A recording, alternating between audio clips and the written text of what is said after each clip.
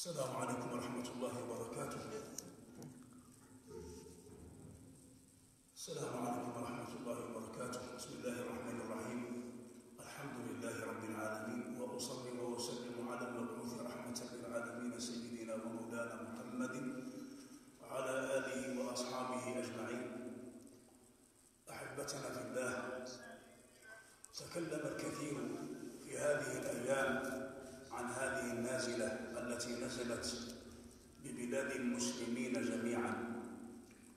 عن هذا الوباء تكلم الاختصاصيون في هذا المجال ووفوا وكفوا.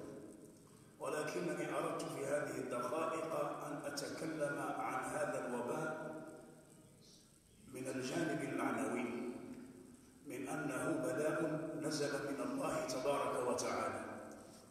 وهذا البلاء لا بد أن يستقبله المؤمن بالاستسلام وحسن الصبر. ولذا نجد في السنة المطهرة جاء عن النبي صلى الله عليه وآله وسلم أنه قال يبتلى الرجل على حسب حسب دينه. يبتلى الرجل على حسب دينه. فإن كان في دينه رقة خفف زيد في بلائه وإن كان في دينه صلابة خفف عنه. إن كان في دينه عفوا رقة خفف عنه وإن كان في دينه صلابة زيد عنه. يبتلى الرجل على حسب دينه. فهذا البلاء وهذا الوباء النازل بنا وببلاد المسلمين. نعتبره أيها الإخوة بلاء نازل من السماء. نزل من الله تبارك وتعالى.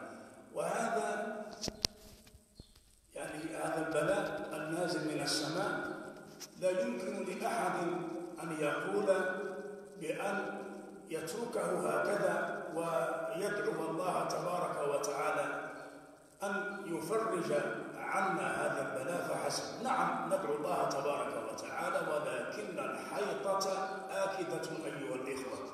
الحيطة واجبة ولذلك أردت أن أضرب لكم مثلا في هذه المسألة. مثل وهو من أروع الأمثلة. الحبيب الشفيع صلى الله عليه وآله وسلم وما أوتي من مكانة من رب العزة تبارك وتعالى من وقاية ومن عناية ومن حفظ ولكنه ثبت في هجرته المباركة في يوم الهجرة أنه اختفى واختبأ في غار ثور ثلاثة أيام. لماذا اختبأ النبي صلى الله عليه وسلم في الغار أيام الهجرة؟ إنه يعطينا درسا أيها الإخوة حتى نأخذ بأسباب الوقاية. حتى نأخذ بأسباب الوقاية. فالحبيب توقى من الأشرار عندما اختفى من الغار وليس خوفا من المشركين. فهو صلى الله عليه وآله وسلم لم يخف طرفة عين لأن الله معه. فكذلك على كل مؤمن أيها الإخوة لا يترك الأمر هكذا هملا هكذا هملا وهكذا لعبا وإنما لابد أن يأخذ بالأسباب. هذه الأسباب التي كثيرا ما تحدث عنها الأطباء وكثيرا ما تحدث عنها أصحاب المجال في هذا الميدان فلابد أن نأخذ بها لابد أن نحتاط بها لابد أن نعمل بها حيطة ووقاية وكما قيل الوقاية خير من العلاج. لابد أيها الإخوة في الله أن نكثر من غسل الأيدي وأن نكثر من هذه الوسائل وسائل التنظيف حتى حتى لا نتعرض لهذه الأخطار ولهذه الأوبئة. ولا بد أيضا كما حث علينا أهل الاختصاص في هذا المجال لا بد من مكثنا البيوت. فالإنسان العاقل الذي يمكث في بيته لن يدخل عليه ولن يأتيه هذا الوباء إلى بيته أبدا. لماذا؟ لأنه تمسك بهذه التعليمة الآكدة هذه التعليمة التي لا بد لكل مسلم أن يعيها ولا بد لكل مواطن أن يأخذ بها حيطة ووقاية لا خوفا فنحن لا نخاف من قدر الله تبارك وتعالى. وإنما كما قال سيدنا عمر رضوان الله عليه نحن نفر من قضاء الله إلى قدره.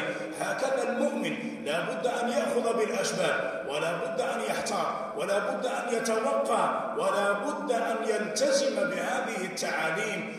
فالذي يخرج عن هذه التعاليم وهذه الالتزامات فهو خارج عن جماعة المسلمين خارج عن الجماعة ومن شذ عن الجماعة عياذا بالله من ذلك ففي النار شذ. هكذا يقول سيدنا رسول الله صلى الله عليه وآله وسلم. فأقول لكم إخوتي من هذا المنبر الحيطة الحيطة الحذر الحذر الوقاية الوقاية خير لنا ولأنفسكم ولجميع البلدان ولكافة المسلمين. وصدق الله تبارك وتعالى صدق الله تبارك وتعالى إذ يقول في قرآنه وفي كتابه ولا تلقوا بأيديكم إلى التهلكة.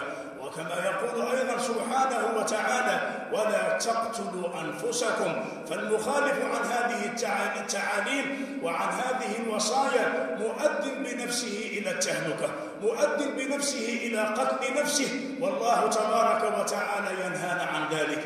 والله تبارك وتعالى يأمرنا بالحفاظ عن هذه النفس. والحبيب الشفيع صلى الله عليه وآله وسلم ما جاء إلا ليحيي هذه